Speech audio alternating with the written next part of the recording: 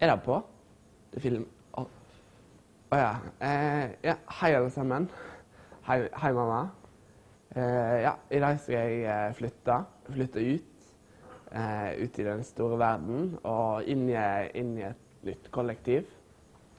Um, ja, jeg, fordi at eh, jeg har fått meg eh, har fått meg jobb.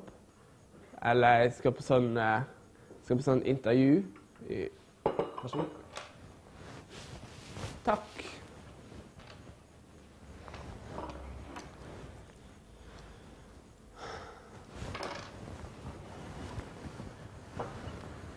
Ja, eh, jeg heter Kolbjørn. Det, det, glemte, jeg, det glemte jeg å si.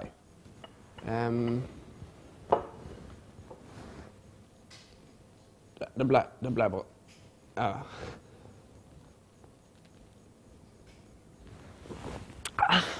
Faen, i svarte faen! Ja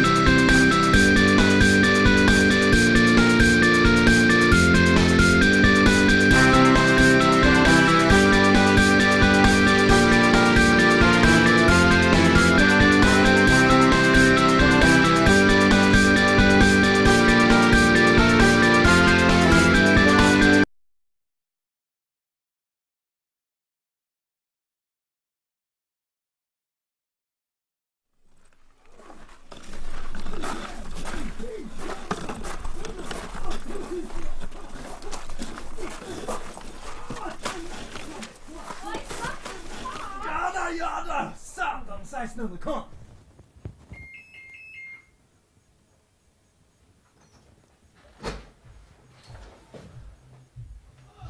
Surprise! Velkommen. Halvard eh, heter jeg. Skal vi se Ja. Veldig moden Kine. Det- Ja, hun er litt sånn her. Skal vi se, Bare stig på, dere. Skal Skal ta den for deg. Bare følg på her.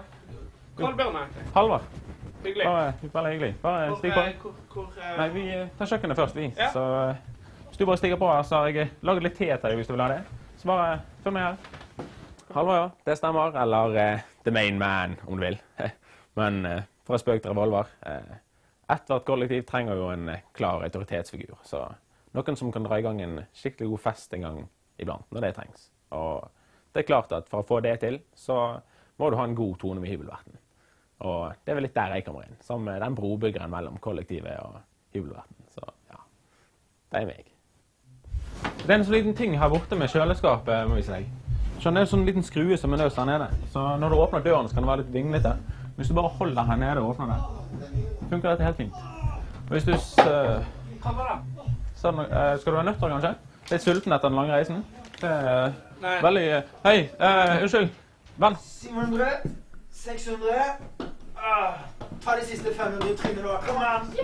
Det, det, det er fortsatt masse av steder vi ikke har sett. Eh, altså Bar er jo, er jo et av de viktigste stedene i kollektivet. Så det er jo eh, det er kanskje veldig relevant. for det. Strømregninga 15, sant? Hva faen? Fullt hus her i dag. Ja, ikke la meg stoppe dere. Åh.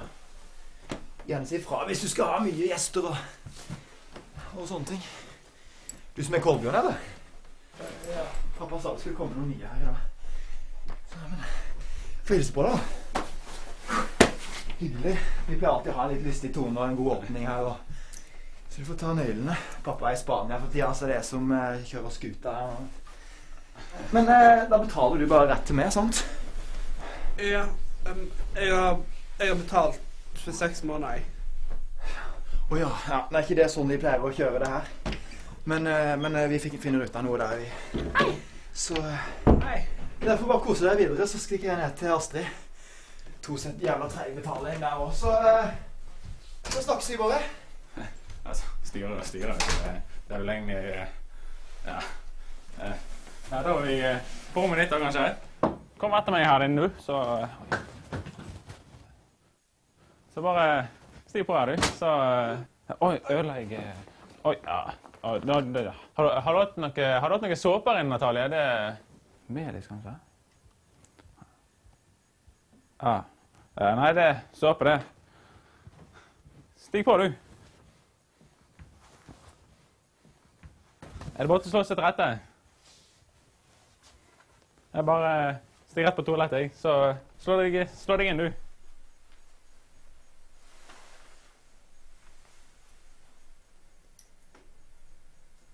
Da at eh, det kommer noen inn i kollektivet nå, det passer meg egentlig helt perfekt. Fordi eh, altså, vi har jo lagerrommet som han kan flytte inn på, så det er jo ikke mange på plass. Så eh, er han jo faktisk dritsøt. Og han har jo tydeligvis veldig masse penger. Så eh, da blir det sikkert eh, billigere husleie.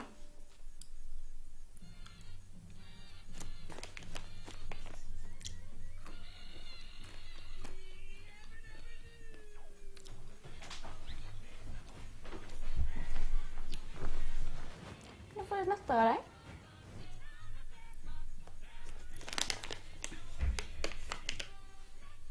Takk.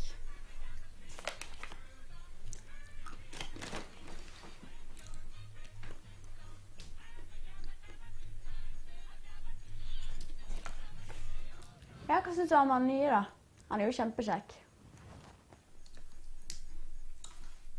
Ja, det syns iallfall du. Andre syns han er kjekkere, eller?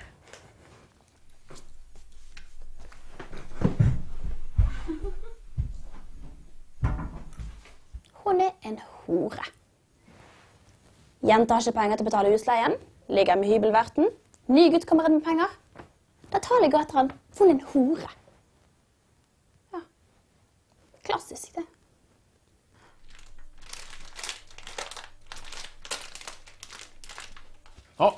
Er det spagetti på gang? Den er jeg med på. Skal vi se om vi har litt eh, saus òg, kanskje? Ja, ny den her. Du, jeg må bare rett ut og kjøpe noe til sausen. Nei, men du, du Eh, Hvis du bare begynner med den, så ja, men jeg kommer vet ikke, tilbake. jeg vet ikke hvor panna er henne. Ja. Nei, det er jo ikke det at jeg ikke kan lage mat. For, for det kan jeg jo. Eh, men jeg tenker at eh, en som har litt bedre praksis og erfaring, får, får lov til å slippe til. Eh, som er flink. De lar jo ikke hvem som helst få lov til å operere på personer heller. Det må jo nødvendigvis være en doktor som er flink.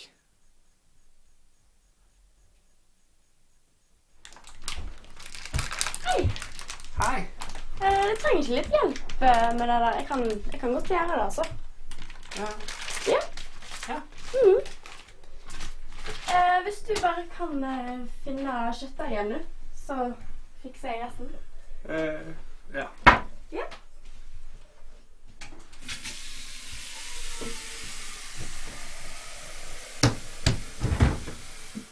Jeg vil ikke si jeg har økonomiske problem. Det er jo bare denne måten jeg har valgt å løse det på. da. Altså, Penger vokser jo ikke på tre.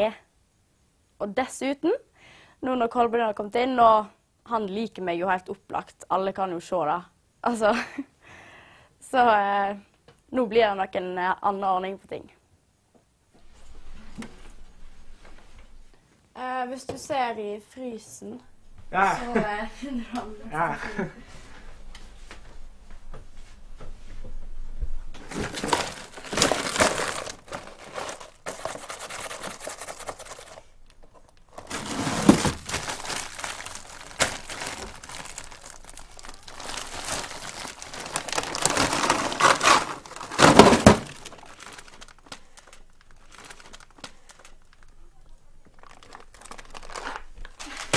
Ta det.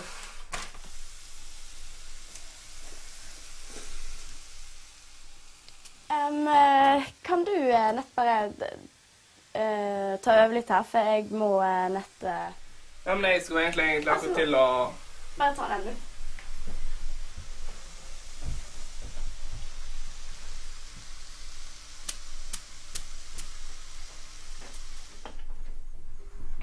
Ine, har vi ikke mer dasspapir igjen? Eh, Nei, det tror jeg kanskje Sto ikke. det ikke flere ruller der inne før i dag? Mm, Nei. Faen hvis du har tatt det jævla dasspapiret igjen. Nei, det er helt greit å bo her, egentlig. Selv om enkelte, uten å nevne navn, tar seg litt store friheter, da. Altså, det der er pri privat eiendom. Du har, ikke, du har ikke noe rett til å gå inn på mitt rom. Du har ikke noe rett til å gå rett inn på mitt rom uten min Kan du holde samtykke. kjeft litt? Du har for faen ikke rett til å holde på alt dasspapiret her. for faen. Når begynner det å boble? da? Når er det ferdig å boble? Jeg må jo, jeg må jo vite når jeg skal legge spagettien oppi. Ja, nå er sausen tilbake her. Ja, nei, eh, men da sier vi fire, da. Sant? Så kommer du, og så ordner vi det. Ja. Nei, men det er greit, da. Så snakkes vi, da. Hei. Vi skulle ha Skal du opp i vannet? Ja, nei, det var bare, det var bare en kompis. eh, en jeg kjenner, da. Ja, Snart blir det vann igjen i gryten. Skal ikke være Ja, ok. Ja, nei, um, jeg, jeg går og ser litt nå, jeg. Da er det, da er det matlaging på gang her. Er det stormål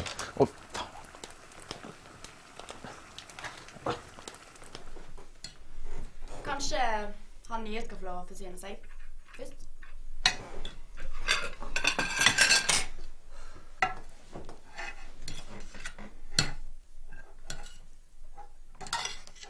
Ja, det er bare å fylle på. Det er mer der det kommer fra.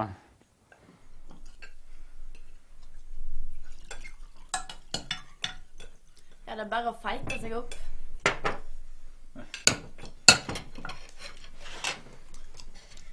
Tusen takk.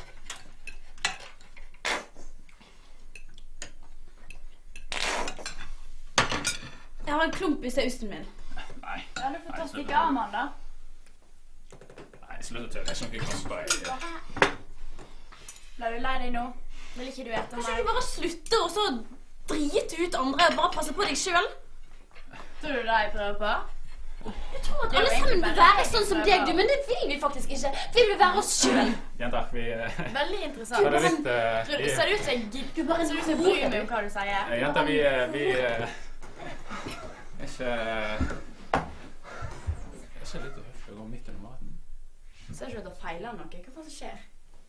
Det var din feil. Oi, shit! Uh, ring etter ambulansen. Vi uh... Altså, når den situasjonen oppsto, så ble det veldig fort klart at Ja, eh, det, det ble veldig fort klart at, eh, at vi trengte noen som kunne ta kontrollen. Som kunne tenke logisk i en eh, vanskelig situasjon. Kom igjen! Go! Go! Det er vel noe som ligger i meg etter eh, alle de årene jeg var leder i Speideren. Eh, Der var jo dette daglig kost. Han har et eller annet i halsen her, så vi er nødt til å Jeg reddet et noen menneskeliv i dag. Og gjør det meg til en helt? Nei, det vil jeg jo ikke si. Det var min plikt som medmenneske. Ja, så det er det som vi brukte å si i Speideren. Alltid beredt.